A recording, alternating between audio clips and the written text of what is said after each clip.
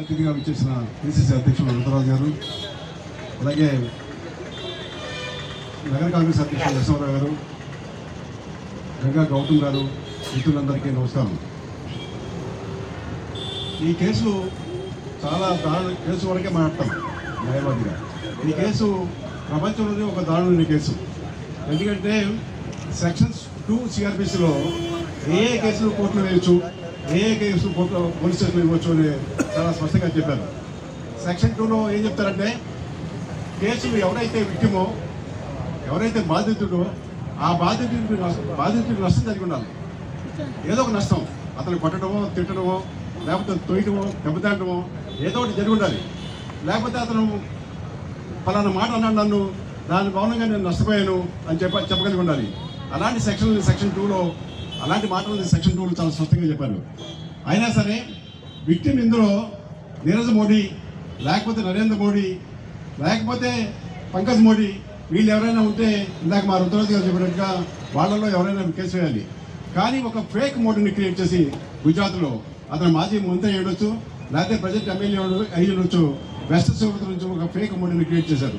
Fake Modi ఏంటంటే అతని పేరు అసలు పేరు మోడీ కాదు. అతనికి ఎలాంటి సంబంధం లేదు. ఈ మోడీ అనే మాటకి అతనికి సంబంధం లేదు. మోడీ అనే మాట రాహుల్ గాంధీ గారు కర్ణాటకలో ఉపయోగించారు. దానివల్ల మా మా మేము నష్టపోయాము సూరత్లో అనే మాటకి విలువ లేని మాట. ఎందుకంటే అతని పేరు పూర్ణేష్ పూ- పూర్ణేష్ అతని పేరు పూర్ణేష్. పూర్ణేష్ అయితే దాని తర్వాత మా రికార్డు ప్రకారం పూర్ణేష్ అని ఉంటే తర్వాత మోడీగా మార్చుకొని మోడీగా ఎన్నికలకు పోటీ చేసి మోడీగానే గెలిచాడు. అంత మాత్రం అతను మోడీ అవడు ఆ విషయాన్ని కోర్టు రికార్డులోకి వచ్చిన కోర్టులో కన్సల్ట్ చేయలేదు. ఇంకొక విషయం ఏంటంటే దాదాపుగా ఈ కేసినప్పుడు పదిహేడు వేల రెండు వందల పద్దెనిమిది అంత ఉంది. అంతకుముందు అదే కోర్టులో పదిహేడు వేల కేసులు పెండింగ్ ఉండగా పదిహేడు వేల రెండు వందల పద్దెనిమిది కేసు ఎందుకు విచారణకు వచ్చింది? పదిహేడు వేల కేసులు ఉన్నాయి కదా మోడీ గారు.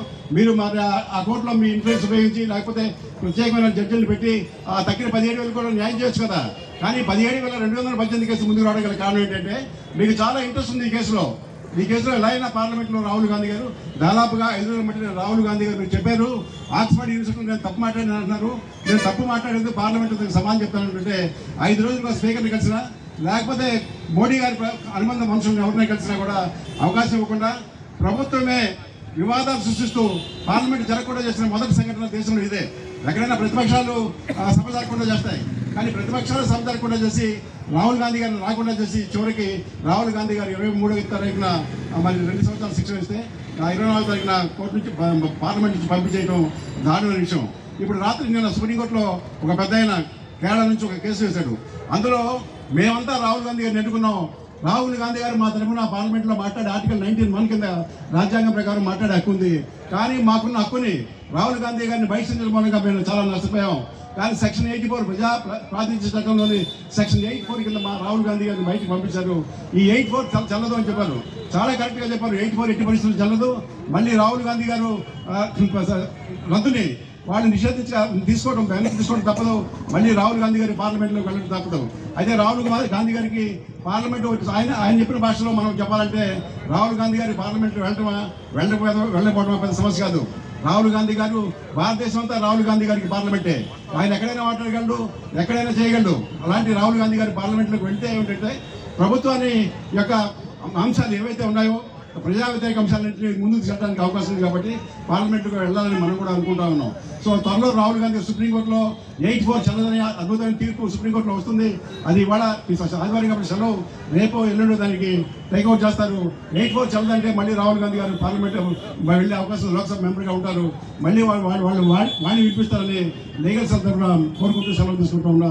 జై హింద్.